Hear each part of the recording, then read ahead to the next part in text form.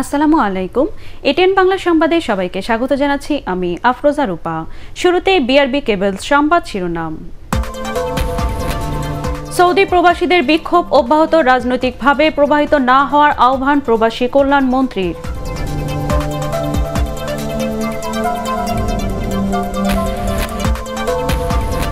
এখনও চড়া পেঁয়াজের দাম আমদানি না বাড়লে বাজার আরও অস্থিতিশীল হওয়ার আশঙ্কা ব্যবসায়ীদের।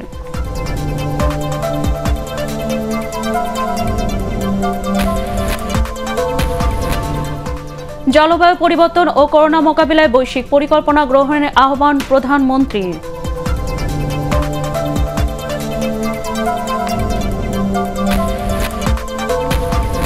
করোনা ভাইরাস ও উপসর্গ নিয়ে দেশের বিভিন্ন স্থানে আজ সাতজনের মৃত্যু।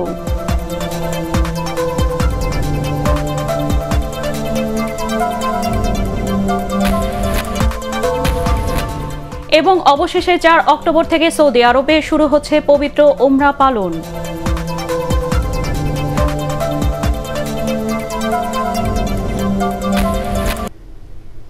শুনছিলেন বিআরবি কেবল সংবাদ শিরোনাম। এবার বিস্তারিত। সৌদি এয়ারলাইন্সের টিকিট পেতে আজও সকাল থেকে রাজধানী সোনারগাঁও হোটেলের সামনে জড়ো হয়েছেন সৌদি প্রবাসী শ্রমিকরা। হাজার হাজার প্রবাসী অবস্থান নিয়েছেন টিকিটের আশায়। টিকিট প্রত্যাশীরা সৌদি এয়ারলাইন্সের বিরুদ্ধে নানা অভিযোগ তুলেছেন। রিটার্ন টিকিট থাকলেও সেই টিকিট নতুন করে না দিয়ে অন্যদের কাছে টিকিট বিক্রি করা হচ্ছে বলে অভিযোগ করেছেন তারা। তাদের মধ্যে অনেকে আগামী তিরিশ সেপ্টেম্বর ভিসার মেয়াদ শেষ হবে। এ অবস্থায় সে দেশে যাওয়া নিয়ে শঙ্কা প্রকাশ করেছেন তারা। পরিস্থিতি নিয়ন্ত্রণে রাখতে অতিরিক্ত পুলিশ মোতায়েন করা হয়েছে। আমরা সাধ্য দাবি দিয়ে আসছি, ওনারা আমাদের দাবিগুলো যৌক্তিক বলছে এবং সবগুলো দাবি মেনে নিয়েছে। আমরা বিশ্বাস করি ইনশাল্লাহ বিচার মেয়াদ বৃদ্ধি হবে। যদি তিন মাসের বিচার মেয়াদ বৃদ্ধি হয়, তাহলে অবশ্যই আমরা এক এক করে সবাই ইনশাল্লাহ চলে যেতে পারব। সৌদি আলান্সে আনসার বাহিনী দিয়া ভিতরে তখন আগেরটা পিছে পিছেরটা আগে কইরা এখানে সিন্ডিকেট করে টাকা খাইতেছে ভিতরে লোক ঢুকাইতেছে এক লগে এদের কাছে বিশ হাজার, দশ হাজার নিয়ে তারপরে এরা একটা সিন্ডিকেট করতেছে। রিটার্ন টিকিট নিয়ে আসছি, এখন এখানে আসছি টোকেন দিছে। আমাদের রিটার্ন টিকিটওয়ালাদেরও যাইতে দিতেছে না। অন্য অন্য বিমানের যাত্রীরা তারা নতুন করে টিকিট করে নিয়ে যাচ্ছে। বুঝছেন নি? তাহলে আমরা কীভাবে যাব? সৌদি প্রবাসীদের রাজনৈতিকভাবে প্রভাবিত না হওয়ার আহ্বান জানিয়েছেন প্রবাসী কল্যাণ ও বৈদেশিক কর্মসংস্থান মন্ত্রী ইমরান আহমেদ। যাদের ভিসার মেয়াদ শেষ বা শেষের দিকে তাদের ভিসার মেয়াদ বাড়ানোর ব্যাপারে আলোচনা চলছে বলেও জানান তিনি। দুপুরে প্রবাসী কল্যাণ মন্ত্রণালয়ের সভাকক্ষে প্রবাসীদের প্রতিনিধিদের সাথে বৈঠকে তিনি এসব কথা বলেন। পররাষ্ট্র মন্ত্রণালয় সৌদি সরকারকে এরই মধ্যে চিঠি পাঠিয়েছে উল্লেখ করে দুদিনের মধ্যে তাদের জবাব পাওয়ার প্রত্যাশার কথা জানান তিনি। এ সময় ভিসা ও আকামার মেয়াদ বাড়লে কোনো সংকট থাকবে না বলেও জানান প্রবাসী কল্যাণ মন্ত্রী।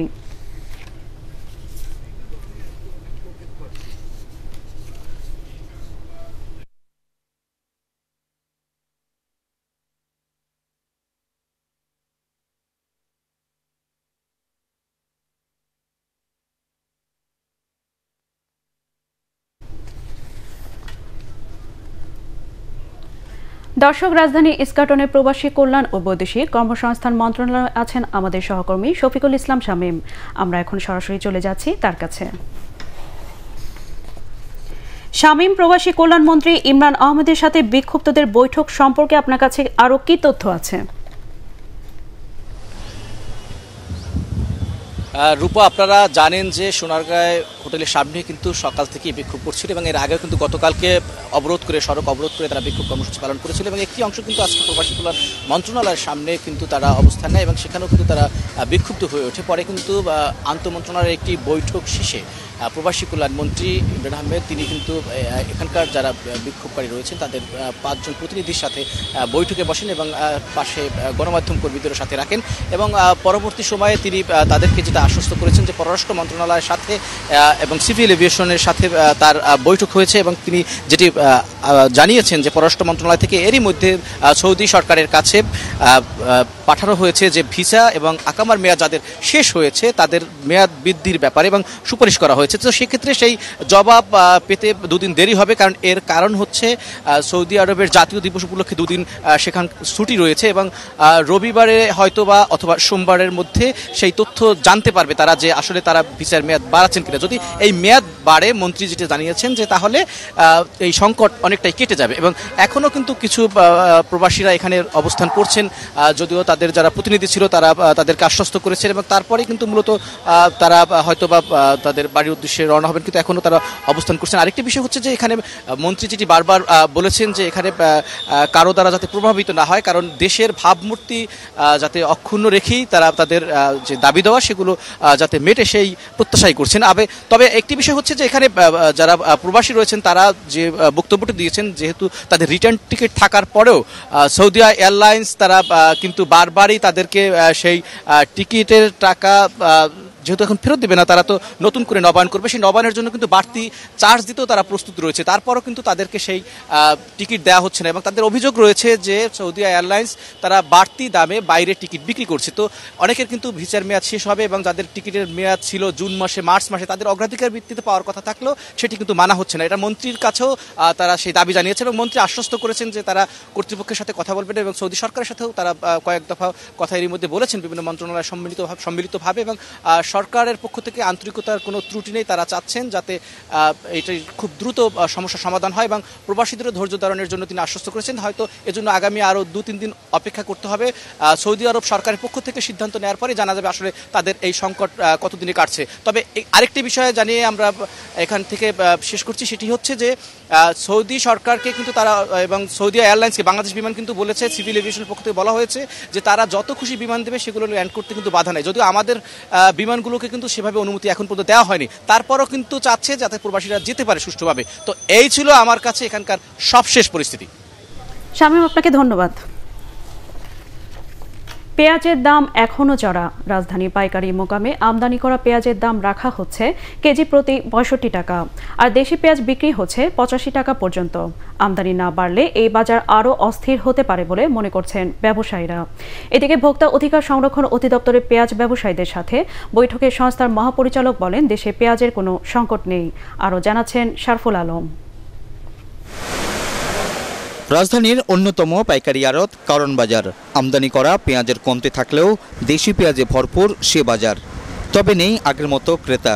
পেঁয়াজ সংগ্রহ করে ভোক্তাদের অভিযোগ মান ও প্রকারভেদে দেশি ও আমদানি করা পেঁয়াজ অতিরিক্ত দামে বিক্রি করা হচ্ছে। তিনশো বিশ টাকা করে। বিশ টাকা আমার কাছে বাড়তি মনে হচ্ছে। আমি এতদিন পেঁয়াজ কিনি নাই। আজকে আসলাম দেখি যে আগের মতোই তো দাম মনে হচ্ছে। ক্রেতা পাচ্ছি না কাস্টমার পাচ্ছি না এদিকে মালও পাচ্ছি না পর্যাপ্ত আমদানও নাই দামও বেশি। অন্যান্য রাষ্ট্রের পেঁয়াজ যদি দশ বিশ পনেরো দিন পরে আসে যায় তাহলে বাজার স্বাভাবিক হবে। দশ বারো দিনের নিচে বাজার স্বাভাবিক হবে না। মোকামে কেজি প্রতি পঁয়ষট্টি টাকায় ভারতীয় পেঁয়াজ আর হাইব্রিড ও দেশি পেঁয়াজের দাম আরও চড়া। সরবরাহ কমে যাওয়ায় পেঁয়াজের বাজার অস্থির বলছেন ব্যবসায়ীরা। ভালো হইলে তাহলে দাম কম থাকতো পচা দিয়ে এই জন্য দাম বেশি।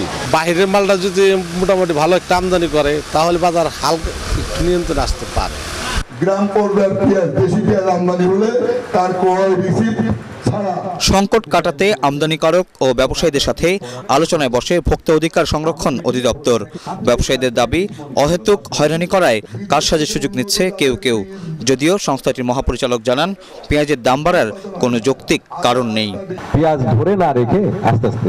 এই হিসাবেও আমাদের পাঁচ লক্ষ টনের বেশি পেঁয়াজ শুধু আমাদের দেশি কৃষক, দেশি ব্যবসায়ীর কাছে মজুদ আছে। ক্রাইসিস বলতে কোনো শব্দ আসলে নাই, কিন্তু আমরা সাময়িকভাবে ক্রাইসিস তৈরি করে ফেলে। এদিকে পেঁয়াজের দাম নিয়ন্ত্রণে রাখতে আজও বিভিন্ন সংস্থা বাজারে অভিযান অব্যাহত রেখেছে। শরফুল আলম, এটিএন বাংলা, ঢাকা।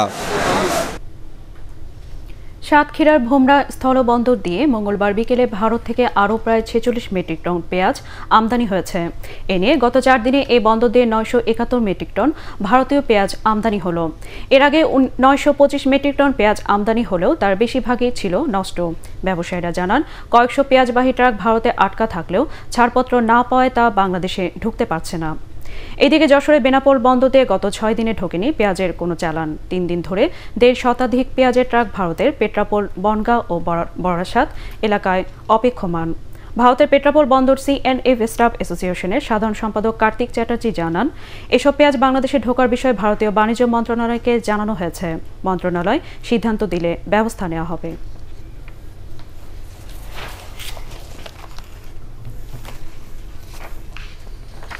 জলবায়ু পরিবর্তন ও কোভিড উনিশ মহামারী থেকে উদ্ভূত সংকট মোকাবিলায় ঐক্যবদ্ধ বৈশ্বিক কর্ম পরিকল্পনা গ্রহণের আহ্বান জানিয়েছেন প্রধানমন্ত্রী শেখ হাসিনা। তিনি বলেন, ঐক্যবদ্ধ আন্তর্জাতিক পদক্ষেপের মাধ্যমে ঝুঁকি কমাতে কাজ করতে হবে। ব্রিটিশ পত্রিকা দ্য গার্ডিয়ানে লেখা এক নিবন্ধে তিনি এসব কথা বলেন। তিনি বলেন, বিশ্বব্যাপী জলবায়ু পরিবর্তনজনিত ক্ষতিগ্রস্ত অনেক দেশের মতো বাংলাদেশও লাখ লাখ মানুষের জীবন স্বাস্থ্য পরিচর্যা পদ্ধতি ও অর্থনীতিকে নিরাপদ করার চেষ্টা করছে। বৈশ্বিক মোট নিঃসরণের আশি শতাংশের জন্য জি বিশ দেশগুলো দায়ী বলেও নিবন্ধে উল্লেখ করেন প্রধানমন্ত্রী। জাতীয় সংসদ ভবনে উন্নয়ন কার্যক্রম সম্পর্কিত উপস্থাপনা পর্যবেক্ষণ করেছেন প্রধানমন্ত্রী শেখ হাসিনা। সকালে গণভবনে তিনি এই উন্নয়ন কার্যক্রম পর্যবেক্ষণ করেন। এ সময় প্রখ্যাত স্থপতি লুই আইকানের নকশার পাশাপাশি আশপাশের বিভিন্ন উন্নয়ন কার্যক্রমের নকশা উপস্থাপন করা হয়। জাতীয় সংসদের স্পিকার ডক্টর শিরিন শারমিন চৌধুরী প্রধানমন্ত্রীর মুখ্য সচিব ডক্টর আহমেদ কায়কাউস এ সময় অন্যান্যর মধ্যে উপস্থিত ছিলেন।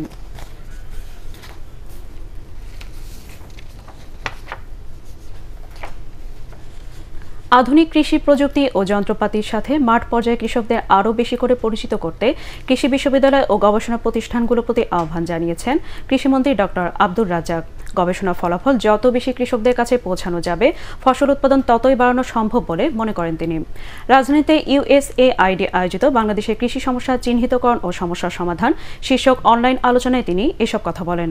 দেশে খাদ্য উৎপাদন বাড়ানোর পাশাপাশি স্থানীয় পর্যায়ে আধুনিক প্রযুক্তির খাদ্য কারখানা গড়ে তুলতে উদ্যোক্তা তৈরিরও তাগিদ দেন কৃষিমন্ত্রী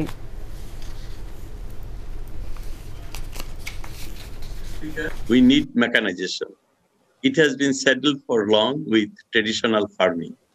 However, gradually we are transforming it into mechanized agriculture. You know, no longer we use animal or trap power for farming. Patkar শ্রমিক জাহালমকে আসামি করে ঋণ জালিয়াতি ছাব্বিশ মামলায় জড়ানো নিয়ে ক্ষতিপূরণ দেওয়ার বিষয়ে জারি করা রুলের রায় ঘোষণা করা হবে আগামী উনত্রিশ সেপ্টেম্বর। বিচারপতি F R M Nazmul Ahsan ও বিচারপতি কে এম কামরুল কাদেরের দ্বৈত বেঞ্চের কার্যতালিকায় এক নম্বরে রাখা হয়েছে রায় দেওয়ার বিষয়টি। গত বারো ফেব্রুয়ারি রুলের শুনানি শেষে সেটি রায়ের জন্য অপেক্ষমান রেখেছিল আদালত। তেত্রিশ মামলায় ভুল আসামি জেলে শিরোনামে খবর প্রচারিত হয় গত বছর। পরে সেটি আদালতের নজরে আনেন এক আইনজীবী। পরবর্তীতে জাহালমকে ক্ষতিপূরণ দেওয়ার বিষয়ে রুল জারি করা হয়। এছাড়া আদালতের নির্দেশে জাহালমকে মুক্তি দেওয়া হয়। করোনা ভাইরাস ও উপসর্গ নিয়ে দেশের বিভিন্ন অঞ্চলে এ পর্যন্ত সাতজনের মৃত্যুর খবর পাওয়া গেছে। এর মধ্যে কুমিল্লায় করোনার উপসর্গ নিয়ে এক নারী সহ তিনজনের মৃত্যু হয়েছে। তারা সবাই ষাটোর্ধ ছিলেন। জেলায় নতুন করে শনাক্ত হয়েছেন সতেরো জন। বরিশাল শেরে বাংলা মেডিকেল কলেজ হাসপাতালে করোনা পজিটিভ ও উপসর্গ নিয়ে এক নারী সহ দুজন মারা গেছেন। এই বিভাগে নতুন করে শনাক্তের সংখ্যা উনিশ জন। খুলনায় করোনায় মৃত্যু হয়েছে একজনের। বিভাগে নতুন শনাক্ত বাষট্টি। এদিকে সিলেটেও মারা গেছেন একজন। এছাড়া এই ভাইরাসে গত চব্বিশ ঘন্টায় শরীয়তপুরে আঠারো জন ও নেত্রকোনায় তিনজন আক্রান্ত হয়েছেন।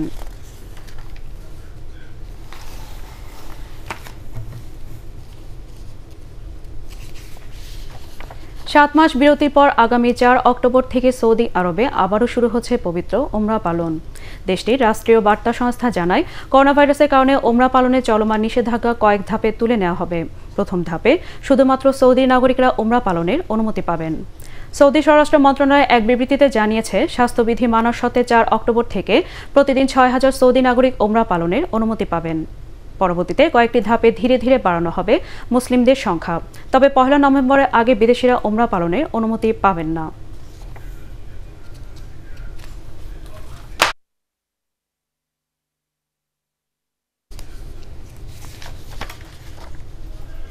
এবার জানাব শেয়ার বাজারে খবর।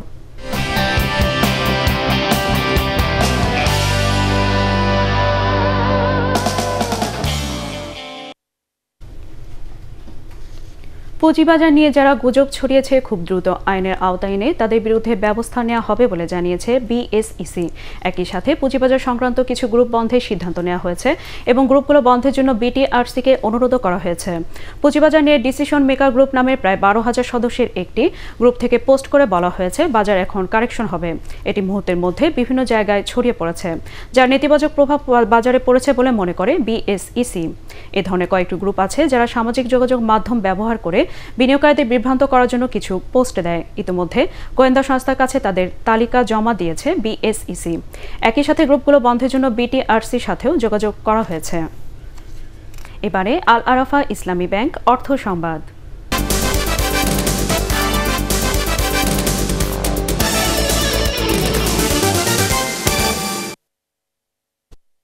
ঠাকুরগাঁয়ে জনপ্রিয় হয়ে উঠছে ভুট্টার ডাডায় ঝিঙ্গা চাষ। এই পদ্ধতিতে ঝিঙ্গা চাষ দিন দিন বাড়ছে। ভুট্টার গাছ খুঁটি হিসেবে ব্যবহার করে স্বল্প খরচে এক জমিতে দুই ফসলে আবাদ করে লাভবান হচ্ছেন চাষিরা।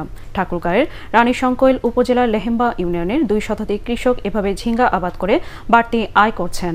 কৃষকরা জানান, এই পদ্ধতিতে ঝিঙ্গা চাষে বিঘা প্রতি খরচ হয় সর্বোচ্চ এক হাজার টাকা, আর তা বিক্রি করে তিরিশ হাজার টাকা পর্যন্ত আয় হয়। ভুট্টা ফসল ওঠার পরপরই ভুট্টা পরিত্যক্ত ডাটাকে খুঁটি হিসাবে ব্যবহার করলে আর কোনো খরচ হয় না বলেও জানান তারা। এবারে বাণিজ্য সংবাদ।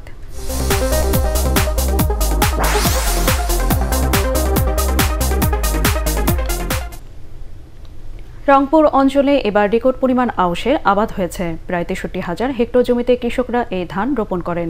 চাষিরা বলছেন বোরো আর আমনের মাঝখানে প্রায় তিন মাস জমি অনাবাদি থাকে। সেই জমিতে তারা আউশ উৎপাদন করছেন। এতে খরচও কম এবং ফলনও ভালো হয়। কৃষি বিভাগ জানিয়েছে আউশের দিকে কৃষকদের উৎসাহিত করতে তারা সমন্বিত কার্যক্রম হাতে নিয়েছিলেন। তারই ধারাবাহিকতায় এবছর রংপুর কৃষি অঞ্চলের পাঁচ জেলায় প্রায় দুই লাখ টন অতিরিক্ত চাল উঠেছে কৃষকের ঘরে। এবারে পার্টেক্স খেলার খবর।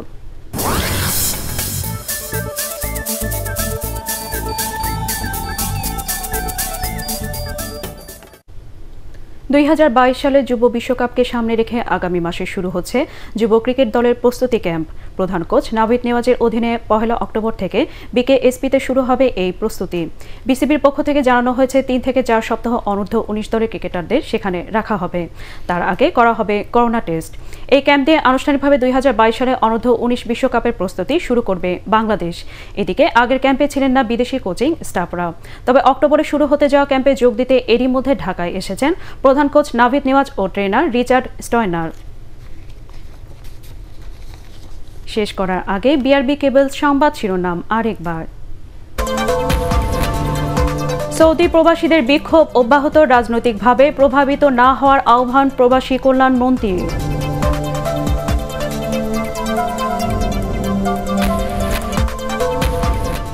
এখনও চড়া পেঁয়াজের দাম আমদানি না বাড়লে বাজার আরও অস্থিতিশীল হওয়ার আশঙ্কা ব্যবসায়ীদের।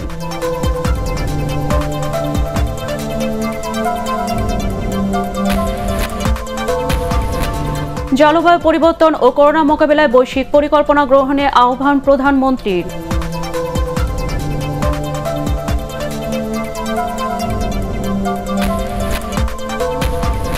করোনা ভাইরাস ও উপসর্গ নিয়ে দেশের বিভিন্ন স্থানে আজ সাতজনের মৃত্যু।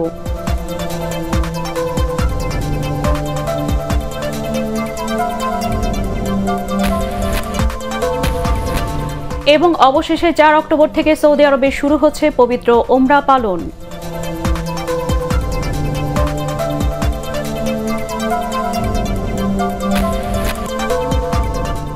দর্শক, পরবর্তী সংবাদ দেখার আমন্ত্রণ জানিয়ে এখনকার মতো শেষ করছি।